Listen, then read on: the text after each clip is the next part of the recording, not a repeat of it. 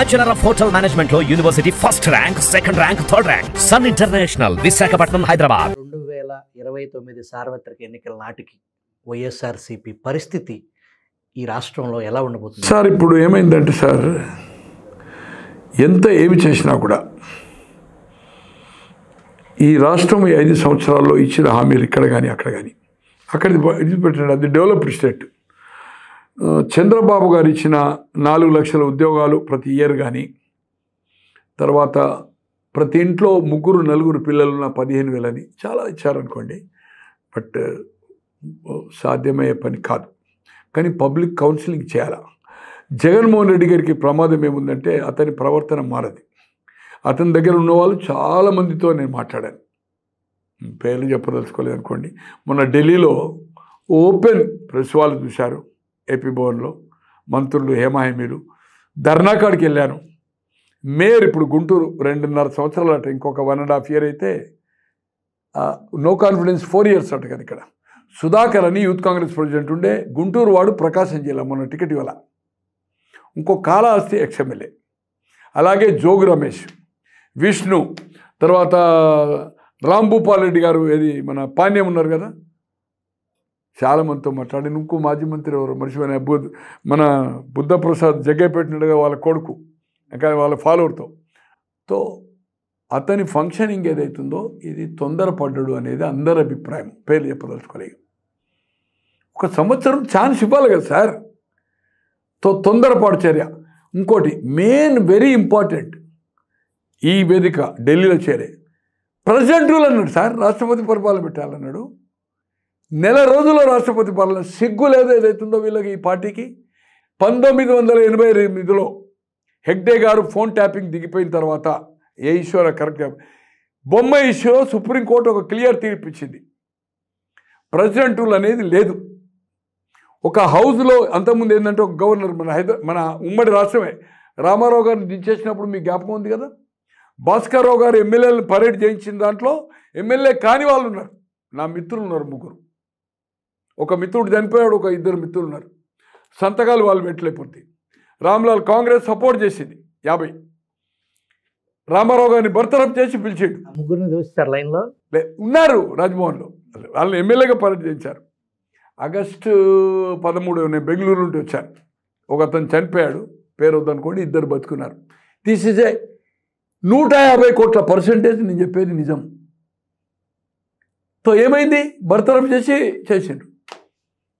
Stent ఏదైతుందో prove చేసుకొని దిగిపోయాడు. ఇప్పుడు గవర్నర్కి అధికారం లేదు.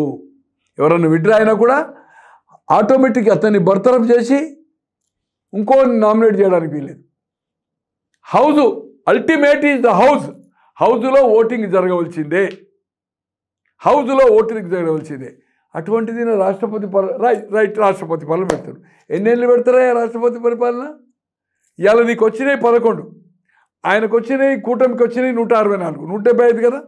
ఆరు నెలల తర్వాత రాష్ట్రపతి పరిపాలన ఉండదు కదా? మళ్ళీ ఈయన ఎవరిని పిలవాలి గవర్నరు? మళ్ళా స్ట్రెంత్ ఉన్నోలే కదా? నీవైతే కావు కదా? సిగ్గు లేదండి వీళ్ళకు రాష్ట్రపతి పరిపాలన ఎవరండి బుర్ర అడ్వైజ్ చేస్తాడు? ఇంత మెదవులు అంటారు. హౌ ఇట్ ఈజ్ ఆ పాసిబుల్ ఒకటేమో ఎయిటీ ఎయిట్ సుప్రీంకోర్టు పోనీ నీకు ఆరు నెలలు పెడతారు. లా అండ్ ఆర్డర్ పెడుతుంది అనుకోండి. లా అండ్ ఆర్డర్ అనేది స్టేట్ సబ్జెక్టు కేంద్రం కాదు. త్రీ ఫిఫ్టీ సిక్స్ ఆర్టికల్ తీసేశారు. ఆ దాని తర్వాత ఎక్కడ కానీ మీకు దేర్ ఇస్ నో హౌజ్లో కోల్పోయినప్పుడు రాష్ట్రపతి పరిపాలన సార్ వినండి సార్ ఇటు హౌజ్లో స్ట్రెంత్ కోల్పోయినప్పుడు రాష్ట్రపతి పరిపాలన అవుతుంది. అయి ఎలక్షన్ అవుతుంది. కేంద్రంలో రాష్ట్రపతి పరిపాలన ఉండదు. మీకు చరణ్ సింగ్ కానీ తర్వాత చంద్రశేఖర్ కానీ హౌస్ కంటే ముందే విడ్రా అయింది కాంగ్రెస్. తో ఎలక్షన్ అక్కడ అక్కడ రాష్ట్రపతి పరిపాలన ఉండదు కేంద్రంలో. వాడే కేటకర్ చీఫ్ ప్రైమ్ మినిస్టర్ ఉంటాడు. అలాగే మీకు ఏదైతుందో చరణ్ సింగ్ గారు హౌస్ కంటే ముందే విడ్రా అయింది కాంగ్రెస్ చంద్రశేఖర్. రెండు ఎలక్షన్ జరిగినాయి. ఇది తొంభై ఒకటి అది ఎనభైలో.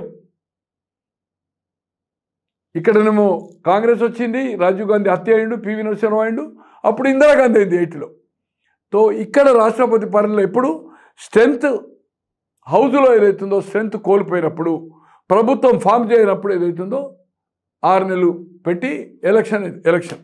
హౌస్ డిజాల్వ్ అవుతుంది అప్పుడు రాష్ట్రపతి పరిపాలన అడ్వైజర్లతోటి వన్ టూ వన్ అనేవాడు ఏదైతుందో ఈ will sit in the CM seat law and order అంతా దాన్ని చేస్తాడు.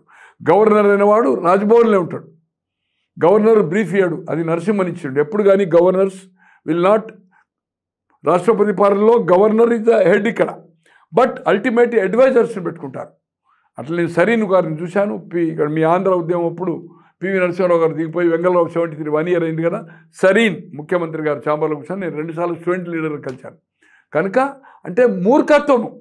మళ్ళీ దాన్ని ఢిల్లీకి పోయే వరకు విడ్రా నేను అన్న ఏందయ్యా సార్ అది రాష్ట్రపతి పాలన పేరు చెప్పదలుచుకోలేదు. రాష్ట్రపతి పాలన ఇక్కడ అనలేదు కదా ల్యాండ్ ఆర్డర్ నువ్వు ఏం ల్యాండ్ ఆర్డర్ అయిందే?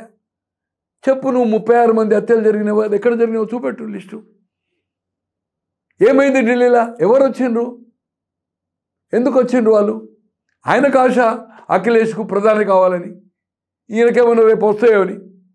ఎన్నికలకు మనం డబ్బులు ఇచ్చాడు కొన్ని పంపాడు ఆయన. ఆయన అడిగాడు ఈయన ఇచ్చాడు. ఎవరు గో కోన్ కిస్కా కొట్టం ఎవరు వస్తారు? అయితే ఇండియా కూటమితో లేవు. ఎన్డీఏ తోటి ఇక్కడ చంద్రబాబు గారు ఉన్నారు కానీ నీకు ఎవరు రాలా? దానికి అసలు మేలేదు నీకు రాష్ట్రపతి అపాయింట్మెంట్ దొరకది ఉపరాష్ట్రపతి దొరకది స్పీకర్ దొరకది ప్రధాని దొరకది హోమ్ మినిస్టర్ దొరకది. ఢిల్లీకి పొర అన్న లక్షల మంది ఏమంటారు? బొర్రలు కుట్టపోయినా ఆయనకు అపాయింట్మెంట్ ఇయ్యారు. కానీ విజయసాయి రెడ్డి ఏదైతే ఏ టూగా పార్టీలో నెంబర్ టూగా ఉన్న విజయసాయి రెడ్డికి పదిహేను రోజుల్లోనే రెండు సార్లు అపాయింట్మెంట్ ఆయన ఛాంబర్లో కలిశాడు విజయసాయి రెడ్డి. సార్ అది అది సార్ సార్ ఒక రాజ్యసభ సభ్యుని కానీ లోక్సభ సభ్యుని కానీ ఇష్యూస్ ఆఫ్ పబ్లిక్ ఇష్యూస్ ఉంటాయి. అది డిఫరెంట్ ఇతని కాజ్ డిఫరెంట్ ఒక ముఖ్యమంత్రి చేసడానికి అది ఇది ఇండివిజువల్ ఇండివిజువల్ ఇంకోటి ఆయన లోపల పోయి కాలు మొక్కుతుండో ఏం చేస్తుండో. రేపు నేనే నలుగురు ఆయన నా రోజే కదా? ఆయన ఇల్లు అమ్మించిండు కదా? ఇప్పుడు ఆయన అప్రూవర్ మారేది ఉంటే ఈయన పని ఏమవుతుంది జగన్ది? ఆయనను ఒక మనిషి లెక్క చూలే కదా? అల్లి బిల్లి కంపెనీలు పెట్టించింది విజయసాయి రెడ్డి కదా సార్. అంటే ఈయన అల్లి బిల్లి కంపెనీలో ఏమైనా ఛాన్స్ ఉన్నదా మనం కొట్టొచ్చునా అని చెప్పిండు. ఈరోజు భారతదేశ చరిత్రలో ఏ ముఖ్యమంత్రి కొడుకు కానీ ఏ ముఖ్యమంత్రి కానీ ఈ అల్లి కంపెనీలు పెట్టిండా సార్?